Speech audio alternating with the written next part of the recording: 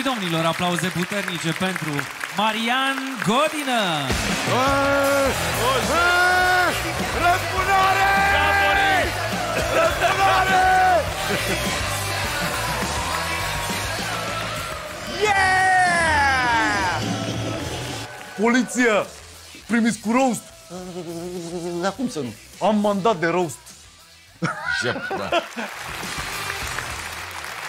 Nici nu mai văd bine, nici nu mai înțeleg nimic. Erai... Ani au trecut de când te-am văzut. Toată presa a scris numai de bine despre tine și numai de rău despre mine. De parcă aș fi avut al 12-lea dosar. Au bubuit ziarele. Mamă, Godină, l-a făcut praf, ce roast, nu știu ce. Am uh, acceptat micul deficit de imagine și am dorit să arăt domnului Godină că nu este la anchetă și dacă vrea să ne înțepăm în cuvinte cel puțin, îmi iese. Să Știi că am... Hai să-l aplaudăm?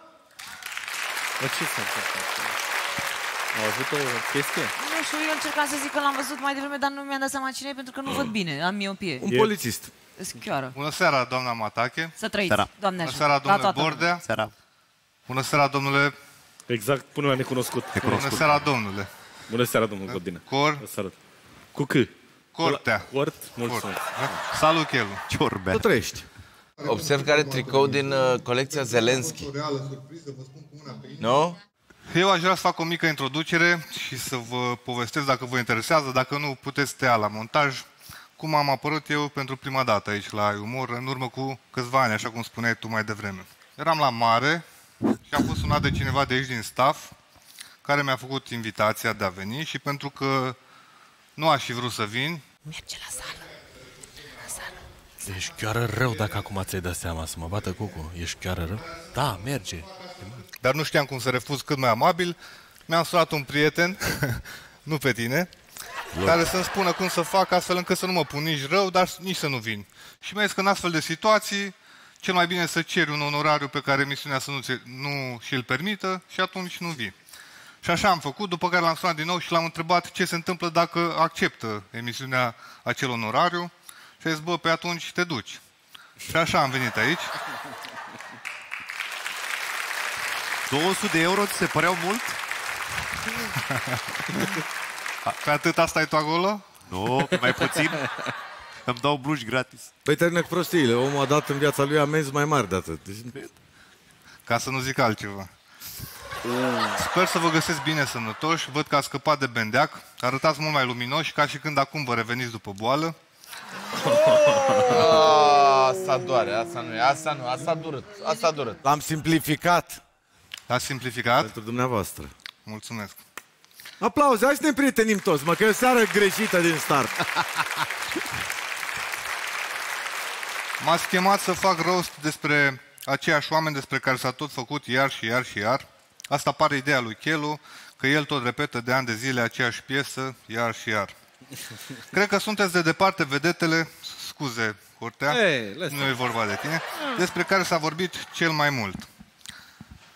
Am venit totuși să investighez cine și cum a avut inima să ia la picioare ai umor când deja era la pământ și se agăța de câte o celebritate ca să existe. Acum e vorba de tine. Bun. Să luăm suspecții pe rând. Cu cine putem începe? Deja s-a simțit când a auzit cuvântul suspect.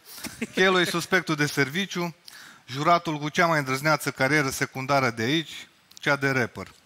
Știu că tu ai o piesă foarte mișto, dacă aș fi președinte, dar îți propun să lansezi ca exercițiu de imaginație, sau de imagine, cum ar spune cineva, cum a spus cineva, și piesa dacă aș fi rapper. De fapt, atât de multă lume a ajuns să te știe doar de aici de la umor, încât am, punea, am putea spune că asta e ocupația ta de bază, iar în timpul liber cânti. Da, dar niciun rapper nu-mi comentează activitatea. Niciun coleg nu-mi comentează activitatea. Așa cum se întâmplă la mine. Corect? Da, știu asta. De unde știi? Cum? Te urmăresc prin prietenii care te înjură. E bine. Hai, mă, acum, acum e, e seara de roast, nu? Dă, permiți? Dar cum? Păi vezi, uite mă, ne înțelegem. Hai, aplauze, continuăm. Și tare. Să sperăm că se mută vorba de la mine mai repede. Declar că nu-ți plac autoritățile, poliția, jandarmeria și totuși te îmbraci ca un jandarm respins la examen care visa de mic la legiunea străină. Greșit? Bordea și Cortea definesc perfect relația dintre legume și carne. Spre exemplu, ardeiul umplut. Dacă bordea ar fi ardeiul gras, cortea ar fi umplutură. Să nu te super cortea, oricum nu te afectează rostul ăsta, nu e ca și cum te știe cineva. Exact. Aoleu. Ai fost în deschidere la probabil toți stand-up-ării români. După ce ai fost supranumit Nelu Deschidere Cortea, te-am văzut în America Express.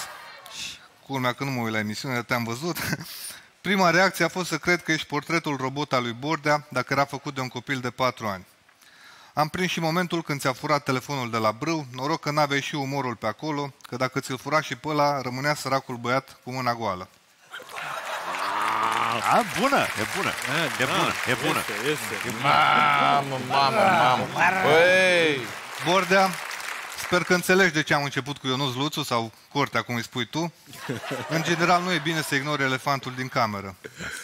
Despre tine se știe că ești moldovean, de asta am și adus cu mine un etilotest de care nu, am mai, nu mai am nevoie, pentru că vezi că am dita mai nasul și am putut să-ți măsor alcoolemia încă din culise. Tu ești o combinație foarte interesantă, arăți ca un infractor cu mult bun simț. Tu pari genul care ar fura ceva, dar și-ar cere și scuze în același timp. Nici ca polițist nu e plăcut să prinzi un infractor de ăsta, că în loc să-l arestezi, îți vine să-l trimiți la el în cameră fără PlayStation. Altceva, uite, altceva. Alt.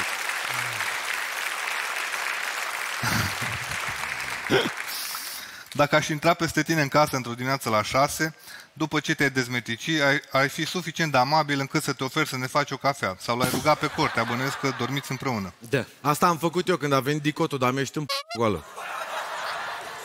Bun. Uh, trecem mai departe. Ce a zis? Ce a arătat? Sunt curios să-mi povestești. Cred că are filmările cu... Avem și noi filmări cu domnul Godină. Hai. D- dacă aș spune acum că am filmarea aia cu tine când au intrat peste tine și erai... Că aș spune că erai în puța goală și nu în... Ne măsurăm când vrei tu. ok. Hai că începe să fie rost. Delia, Da, am, prezent. am lăsat femeile la final. Mă refer la Copos și Badea. Acum vorbim despre tine.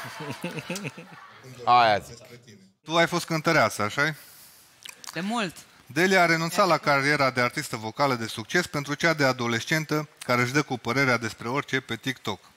Corect. Dar avem nevoie și de acest, acest gen de activism. Cineva trebuie să vorbească și despre drama pe care o trăim atunci când suntem pe coasta de Azur, iar hotelul de lux în care suntem cazați nu are o idee proaspete. Copot și Badea. Am ajuns la voi într-un final. Ce să spun?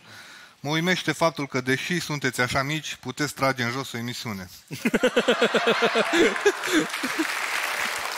De la noi e, mă. V-ați prins, mă, în sfârșit. Mama! L-a dat cu ciocanul în cap! Te-a lovit, tate!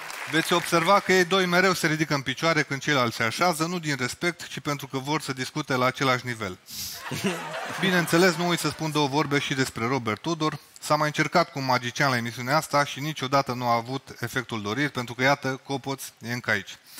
Ăsta a fost numărul meu, vă mulțumesc. Bravo. Bravo, băi. Bună! Stai, tată, că mai am! Mai am, tată, am! E până la sfârșit îl fac să dispară. Nice. Permiteți? Inculpat Ion Ștefan Cătălin vine să salute autoritățile. Vă mulțumesc frumos că ați revenit. Hai, este facem un adevărat selfie. că toți prietenii mei din Brașov îl uh, detestă, disprețuiesc, urăsc, dar, uh, Opa. da? Asta cred că e probă. Da, dosarul următor. Știu că nu mai ești operativ. Vezi că, Ba da. vezi că ți-a ADN-ul. Toate au un sfârșit. Vezi, totuși